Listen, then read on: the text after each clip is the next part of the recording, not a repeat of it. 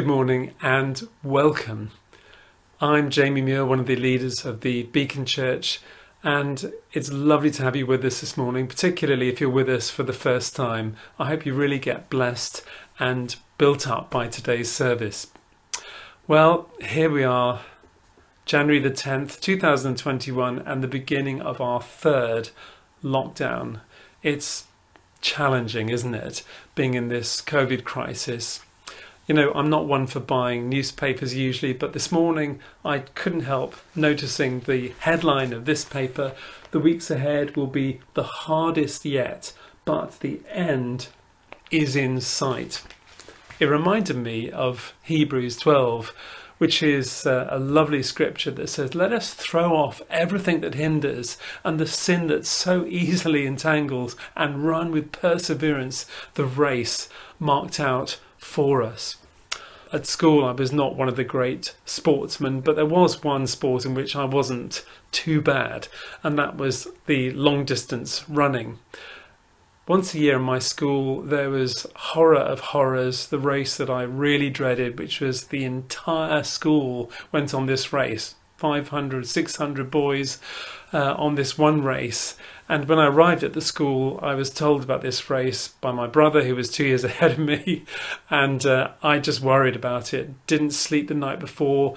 And when I came to it, I was fueled on a mixture of complete fear and adrenaline and came 54th in the school. The next year, I felt I had to somehow beat that, and even more adrenaline and fear came 36th, the third year 24th, the fourth year by then I was house captain of running and I felt all eyes were on me. I had to really pull the, some miraculous thing out of the bag and I cracked. Um, I walked around the course with my uh, rather discouraging mates and uh, wearing a Stetson hat and cowboy boots on my feet, and I came in the 500th. Yes, I was house captain of running at the time. My housemaster wasn't impressed, my headmaster was less impressed, and I really damaged my reputation. I think I blew my chances of being a school captain or head head of house or whatever. It was damaging, but I learned a very valuable lesson. That is persevere. Do not give up. Don't let peer pressure, the values of those around you, don't let exhaustion or fear or rebellion rise up in you. Focus your eyes. And the Bible says very specifically that we are to focus our eyes on Jesus, who's the author and the perfecter of our faith. Well, January the 10th, obviously, it's the beginning of the year. Joanne and I, my wife and I, we try and go through the Bible in a year, every year, done this through most of our married life, and it's really good. The last two or three years, we've done Nicky Gumbel's The Bible in a year, and I noticed this year they're doing an express version, just 10 minutes a day, I think it is, or uh, and then there's a youth version, 13 to 18. If you've not done this, it's brilliant. Do do it. I can't believe you get through the Bible in a year in 10 minutes, but Anyway, maybe that's over two years. This year, Joanne and I are actually doing something different. We're doing Martin Charlesworth's Word Online. It's free, it's on the internet, it's 184 half hour sessions split into 14 series, and it's on Jesus, just Him, in the four Gospels in chronological order. We are determined this year to fix our eyes on Jesus, the author and perfecter of our faith. You know, as we do that, it, we will be looking at God because Hebrews 1 says the Son is the radiance of God's glory and the exact representation of His being, sustaining all things by His powerful word. So you can see how important it is to focus on Jesus. And John 1, of course, says, In the beginning was the Word, and the Word was with God, and the Word was God. Jesus, the Word, was God. In him was life, and that life was the light of all mankind. The light shines in the darkness, and the darkness has not overcome it. As we focus on Jesus this year, as you and I focus on Jesus this year, we will be filled with light and it'll illuminate not only our path and give lamp, a lamp to our feet, but it'll actually be a beacon of light to those around us. Let's pray that this year our infectivity rate as Dave, one of my fellow elders, said, let our infectivity, our R number, be greater than ever before. Let us infect people with Jesus Christ. See more and more people coming to Jesus as we focus on Him in our lives and become more full of light. So let's pray. Father, we commit this service to you. Fill us again with your Holy Spirit. Fill us with your word. Fill us with Jesus. We love you so much. Lord, come and have your way in our lives. In Jesus' name. Amen. Enjoy the service. I'll catch you at the end. God bless.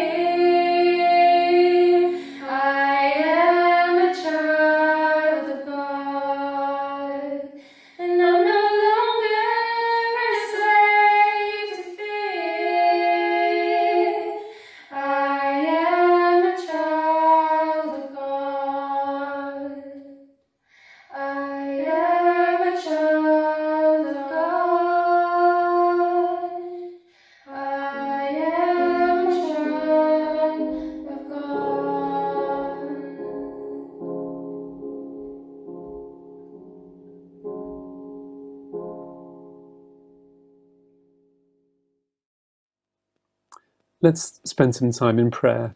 You know, it's such a privilege, isn't it? The Word of God tells us that we can boldly approach the throne of God to obtain mercy and find grace to help in time of need.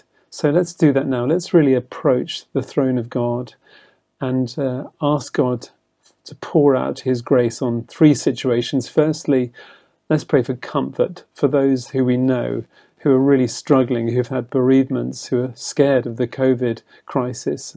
Secondly, let's pray for our town now that we've taken ownership of the Watergate Centre. And thirdly, let's pray for the world. So let's pray first of all and for those who need comfort. Praise be to the God and Father of our Lord Jesus Christ, the Father of compassion and the God of all comfort. Father, we are heartbroken by people who have passed away, who we know and love. Lord, you understand this. You see the big picture.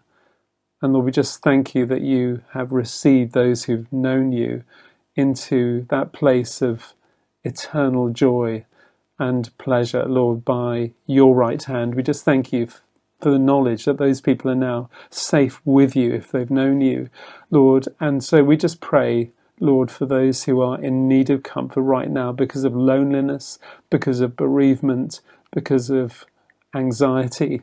Lord, would you pour out your comfort. Lord, your word says that the love of God is shed abroad in our hearts by the Holy Spirit. So we're asking for a real visitation of your Holy Spirit to shed abroad the love of God into those people who feel so bereft and heartbroken and fearful at the moment. Come by the power of your Spirit right now, Lord, and just enter every trembling heart. Lord, give them that overshadowing of God, or what C.T. Studd called the chloroform of God, God's comfort and presence. Lord, we just release that now by faith into those that we know and love who need comfort at the moment. And we pray now for our town. Your word says in Isaiah 44 But now listen, Jacob, my servant Israel, whom I've chosen. This is what the Lord says He who made you, He who formed you in the womb, and He who will help you. Do not be afraid, Jacob, my servant, Jeshurun, whom I've chosen, for I will pour water on the thirsty land and streams on the dry ground. I will pour out my spirit on your offspring and my blessing on your descendants. They will spring up like grass in a meadow, like poplar trees beside flowing streams. Some will say, I belong to the Lord. Others will call themselves by the name of Jacob, and still others will write on their hand the Lord's and will take the name Israel. Lord, we just thank you for this promise, Lord, that you will pour out your Holy Spirit in these last days. And so, Lord, we're asking you, we're pleading with you, Lord, would you pour out your Spirit on our town? Lord, we just pray that people will be coming to Jesus, will be coming to the Lord as they get that conviction by the Holy Spirit, Lord, of your eternal kindness. It's your kindness that leads us to repentance. Lord, in your kindness, show them that they are not self sufficient, that they need a Saviour. So we're just praying, Holy Spirit, would you be poured out? And as you are poured out on this dry and thirsty land, we just pray that we would see children of God, new creations springing up like grass in a meadow, like poplar trees beside flowing streams.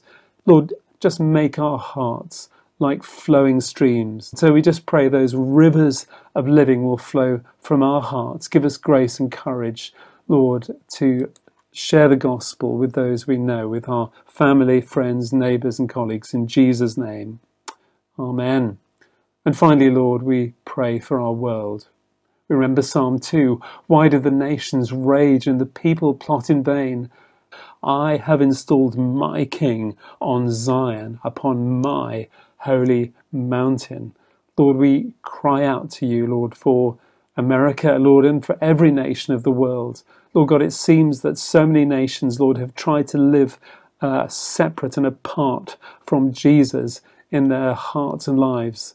And Lord, we just pray you would come, Lord, and be enthroned, Lord, as King of kings and Lord of lords. Take your rightful place in the nations, Lord, but particularly at this time we remember America, Father. We just pray that people would return en masse to Jesus, Lord, not to human rulers or governors, but to Jesus Christ, the King of kings and the Lord of lords, and the one who is the Prince of Peace. So we just pray for peace to dominate, to rule and reign, Lord, in Washington and in that whole a nation of America. Lord, we entrust this to you, crying out for you to come, Lord, and be revealed in America, be revealed in our nation. Lord, let people return to the King of Kings, Jesus Christ, our dear Lord and Saviour. And we pray these prayers in Jesus' name. Amen. The Book of Nehemiah Nehemiah finds out through a messenger that his homeland is in ruins. Huh? Hundreds of years earlier, the Babylonians destroyed the city of Jerusalem. They tore down the temple and walls that protected the city and dragged the people away into captivity. Years went by with the Babylonians in charge until a powerful king in Persia named Cyrus attacked and defeated the Babylonians. As a result, Cyrus allowed the people of Israel to go back and rebuild their temple. Unfortunately, the Israelites once again turned their back and sinned against God. Meanwhile, King Cyrus dies and a new king is put into power. This new king boldly proclaims that there will never be a wall built around the city of Jerusalem again. It appears the Israelites have missed their window of opportunity. Nehemiah is the cupbearer to this king, cupbearer meaning prime minister, bodyguard, and second in command. Nehemiah hears of his people's plight and his heart breaks. So he takes a risk and asks the king if he can go back and rebuild the walls of Jerusalem. The hand of God was upon Nehemiah, so the king granted his request. And after five months, Nehemiah travels to Jerusalem to rebuild the wall. When he gets there, he surveys the situation for three days and then makes a speech to the people of Jerusalem.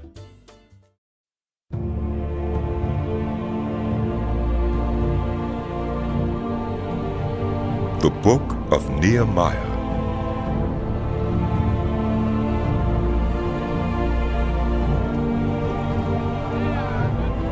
The words of Nehemiah, son of Hachaliah. In the month of Kislev, in the twentieth year, while I was in the citadel of Susa, Hanani, one of my brothers, came from Judah with some other men. And I questioned them about the Jewish remnant that had survived the exile, and also about Jerusalem. They said to me, Those who survived the exile and are back in the province are in great trouble and disgrace. The wall of Jerusalem is broken down and its gates have been burned with fire.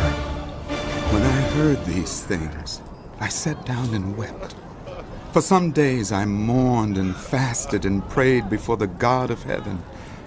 Then I said, Lord, the God of heaven, the great and awesome God, who keeps his covenant of love with those who love him and keep his commandments.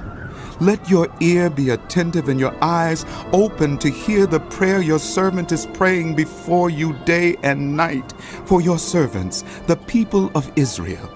I confess the sins we Israelites, including myself and my father's family, have committed against you.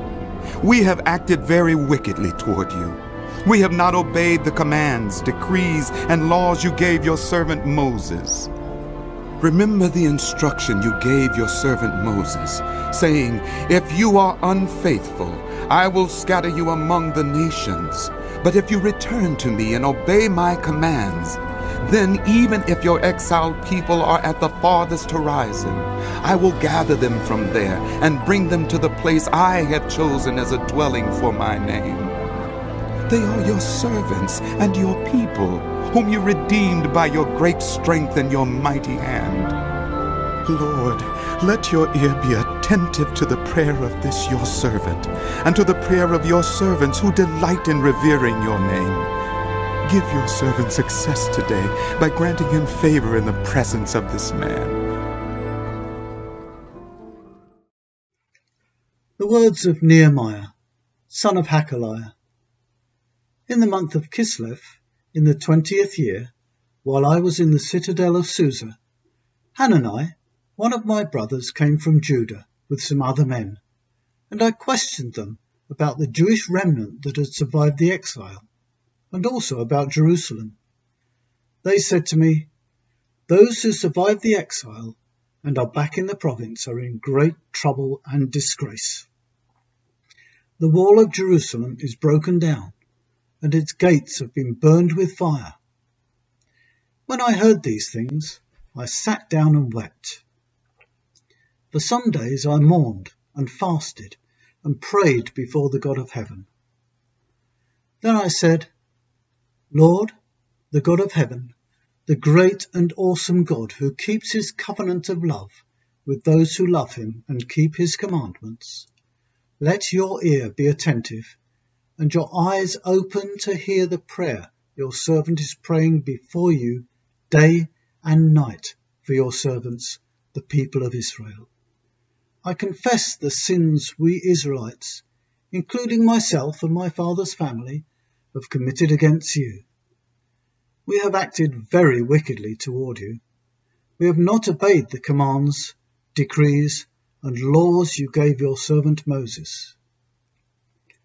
Remember the instruction you gave your servant Moses, saying, If you are unfaithful, I will scatter you among the nations. But if you return to me and obey my commands, then even if your exiled people are at the farthest horizon, I will gather them from there and bring them to the place I have chosen as a dwelling for my name. They are your servants and your people whom you redeemed by your great strength and mighty hand. Lord, let your ear be attentive to the prayer of this your servant, and to the prayer of your servants who delight in revering your name. Give your servant success today by granting him favour in the presence of this man. Hello, here we are again. It's January. It's a new year. It's a new day dawning today.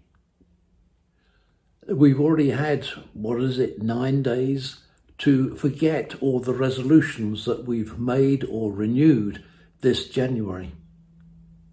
But I'm not going to be talking about resolutions per se, but right now we in Beacon have a special reason to look to the future. I'd be surprised if it's escaped anyone's attention that we now have a home of our own in the Bullring in Whitchurch. As I look back through my files, it's fascinating to see that in 2009 we had a very small office at the rear of the former Holly's Hotel in Chester Road. And ever since, we've been looking at potential properties. We've looked at two former churches, the Baptist Church in Green End in 2012, the Congregational Church in Dodington in 2013. We've looked at three former pubs, a former, am, former ambulance station seven years ago, the old rectory, that was a fascinating place, and the Joyce Clocks site in 2014. The former youth club called Centre Northeast in Tesco's car park, and numerous shops, even a plot of land near to Sainsbury's. In total, over 30 different sites. And now we own 5 Watergate Street, which provides by far the most spacious and versatile accommodation that we've ever looked at in Whitchurch. And as elders, we believe this is of God and that we've been allowed, as it were, to purchase it in order to fulfill His purposes. Everywhere else we've looked, our ideas, our plans, they've been frustrated, even though they seemed plausible at the time. The prolonged negotiations, the planning process, the legal requirements, yes, they, they were tortuous enough, but now the real world work starts.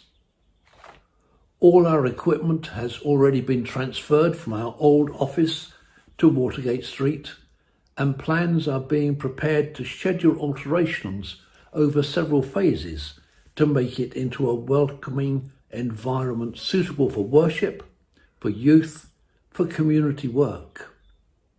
And we believe even the name is significant Watergate.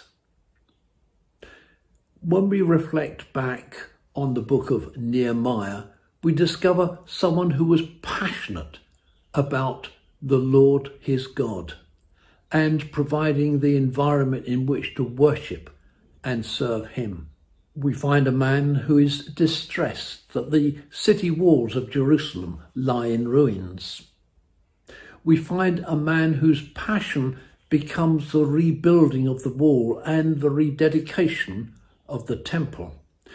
We find a man who, for all his confidence and enthusiasm, is strongly opposed and ridiculed by some. And yet Nehemiah persevered. The first seven chapters of the book of Nehemiah deal with the process of rebuilding the walls and its completion, and recording the names of the people who returned from exile to Babylon. And then in the very last verse of chapter 7, we read, When the seventh month came and the Israelites had settled in their town, all the people came together as one in the square before the water gate. They told Ezra, the teacher of the law, to bring out the book of the law of Moses, which the Lord had commanded for Israel. So on the first day of the seventh month, Ezra the priest brought the law before the assembly, which was made up of men and women and all who were able to understand.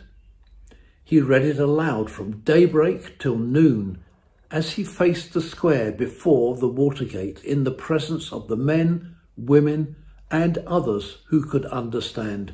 All the people listened attentively to the book of the law.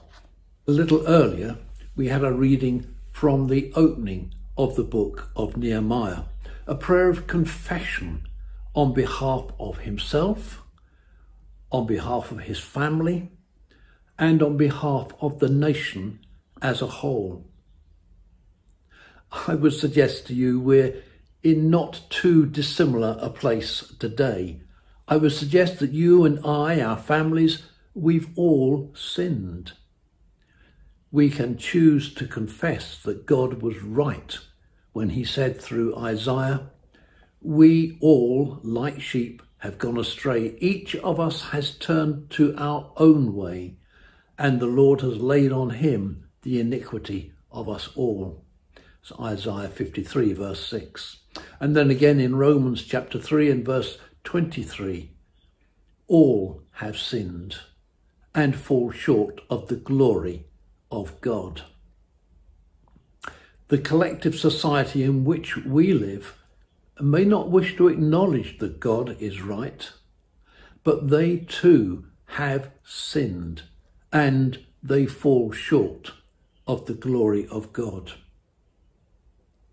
How vital then that we, as Christians living in and around this town, should have the same sort of passion that Nehemiah had for things to change and for God's name to be glorified. All at the Watergate, all the people listened to the reading of God's word. It is our prayer that people of this town and its surrounding villages will come to the Watergate to hear the word of the Lord, which is great. But, and it's a big but, we all know that the church is not a building. A building is all fine and dandy, as one of my kids would say, but of itself, a building will achieve nothing. A building has no life. It's just four walls and a roof. We all know that the church is the people. That's, that's you and me. We are the ones through whom God will build his church. We are the ones who bring life within those four walls. The task that Nehemiah embarked upon was fraught with challenges. In order to achieve a good result, and quickly, he needed to engage the help and support of all the people who had returned from Babylon, as well as those who already lived in the city. Clearly, Nehemiah and his team were good organisers and managers. They assigned responsibilities to groups of people, mostly family groups, and every group came up trumps. The wall was completely restored in 52 days. But, but, but, yes, each and every one of us can find reasons why we can't fully commit to rebuilding the wall. Do you think the people of Jerusalem didn't have their own priorities as well? Such as putting a secure roof over their own heads, like providing food for the family, like taking time out for rest and relaxation? Some of them would have been old. Some of them would have been nursing mothers. Some of them would have had ailments and infirmities. I would suggest they faced similar pressures to all of us today. With the best will in the world, I cannot see our walls being completed with, within 52 days, especially in the midst of a COVID epidemic. Not least because we currently lack the financial resources. And in any case, as we all very well know, as I've stated clearly before, it's not just bricks and mortar that we're talking about here. We hope to be able to worship in that building and to provide services for our community in a fairly short period of time. I know many of you are raring to go, people who are frustrated about our lack of facilities in the past years, people who are frustrated with being locked down for so long and now for so much longer. But this project is one that will require buy in from all of us as we seek to impact Whitchurch and its neighbouring villages with the love and the knowledge of our Lord Jesus Christ. After all, he came into the world to save sinners. That's us. That's you and me, and all the people around us. Yes, we're back to square one when Nehemiah offered a prayer of confession. What better time than the beginning of a new year to offer ourselves again to the Lord, to become again those living sacrifices, giving our all to Him, inviting Him to refill us afresh with His Holy Spirit, to go out and preach the gospel to this town. Would you join me in doing that? Would you invite God to light the fire again in your heart? Would you call out afresh to God not to let your love grow cold? Would you plead with him not to allow your vision to die? Would you acknowledge once more that God knows your heart, he knows your thoughts and your deeds? Would you come humbly before your God once more and dedicate your life anew to him? Would you join me? Let's pray. Father God, at the beginning of this new year, we offer your, our lives to you afresh. We ask you to invade our lives with your Holy Spirit, to give us a passion to go out to preach the word of God in our community in whatever way we can. Lord, enable us to be effective witnesses for you in this place. In Jesus' name we ask. Amen.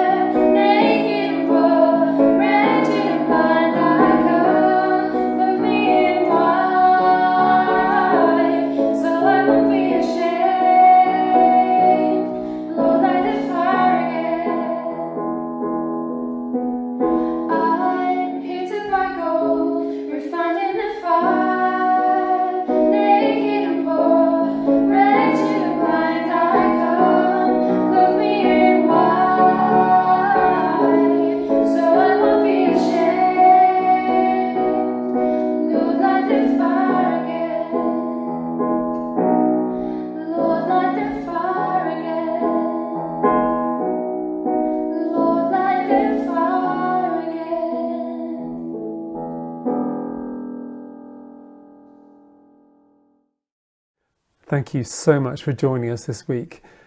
It's been a real pleasure, hasn't it? That was the first in a series on Nehemiah building the walls of Jerusalem in this season where we as a church are building the Watergate Centre to be a place where God's word can be preached, where we can serve our community, and where the presence and love of God can be felt in a very tangible way. Well, don't forget to build yourself up this week. Remember that word online or Bible in a year. Do everything you can to really nourish your spirit this week, this year and then spur one another on to love and good deeds, as the, as the Word of God says, by staying in fellowship through your Connect groups. Remember, join us on a Saturday morning at 8.30 for our Zoom prayer meetings and join us after this service at 11.30 for fellowship where if there's enough of us, we'll break into our breakout rooms and just spend a little while just chatting and fellowshipping. It would be lovely to see you. Thank you again for joining us. Hope to see you next week. Have a brilliant week. God bless.